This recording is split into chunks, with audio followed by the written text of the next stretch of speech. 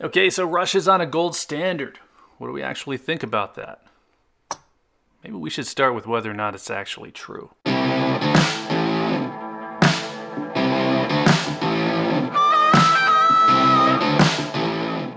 So if you've spent any time watching YouTube videos lately about gold, you've probably run across a story or two of Russia being on a gold standard.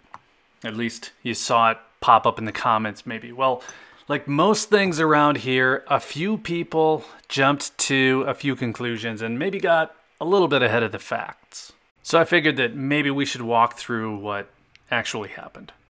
I'll just assume that we all know about the situation in Ukraine that's led to sanctions against Russia and start with Russia setting a fixed price for gold. They set that price at 5,000 rubles per gram and they announced that they would buy gold at that rate for three months April, May, and June. Now, if you look at the current price of gold denominated in US dollars and the current value of the ruble, well, that's well below market value. I think 5,000 rubles per gram, depending on the day and how you look at it, that amounts to about $1,600 per ounce. Right now, in US dollars, it's more like 1930.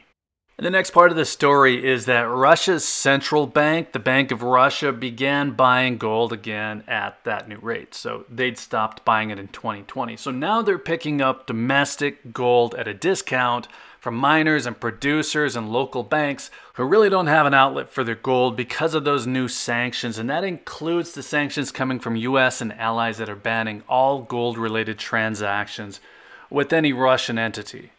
So Russia's next move was to require payment for commodity exports to be made in rubles or gold. I think the way that they put it was that they wanted hard currency, and to them, that is gold. Or what's convenient to them, that of course is the ruble. So any payment made in gold would be equal to 5,000 rubles per gram. So if that 5,000 rubles can buy a gram of gold, well then the ruble has a fixed floor that it hypothetically can't go below because the ruble can be converted to gold.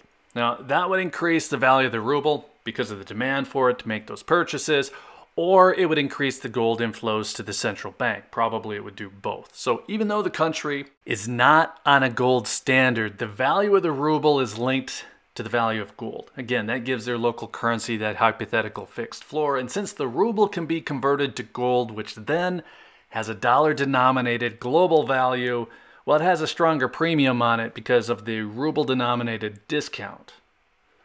Does that make sense so far? Okay, so this is where people are making a pretty big leap. A possible next step would be to directly peg the ruble to gold in like a Bretton Woods type of model, but that has not happened yet. And that would require Russia's central bank, first of all, to have enough gold to do so. So that June 30th date that their central bank is committed to buying gold through, that's going to be a date to watch. At least it'll be a date to watch if something big doesn't happen between now and then. In the meantime, Russia's retail demand for gold has increased dramatically. Russian citizens aren't able to use brokerages to sell foreign owned securities, they're not able to use them to convert to other currencies. They're not able to transfer money outside of Russia. And then the government is actually encouraging that domestic retail purchase of gold. So the US and allies banning Russian international transactions in gold, well, it hasn't really done much, at least not to the sentiment for gold inside Russia. And if you're curious, by the way, the most popular gold product being purchased is the kilo bar. So these coins are rookie numbers, I guess. I'm not sure any of that changes my mind on what to buy, but if you're serious about preserving wealth, I guess go big. Okay, so let's call it good there. This is a shorter video, but this is really a story that's still in the opening chapters. We're gonna have to wait and see how it goes. So anyone telling you right now that Russia is on a gold standard today, telling you that the New World Order is underway. Well, they don't follow the specifics of what's actually happened and what could happen. And we all understand, though, that it's just a more compelling story if it's exaggerated.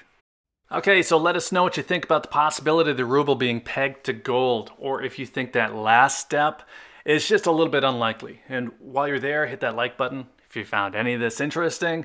And make sure you're subscribed if you're into the topic of precious metals. If you're still here, thank you again for watching. I always appreciate your time. Take care.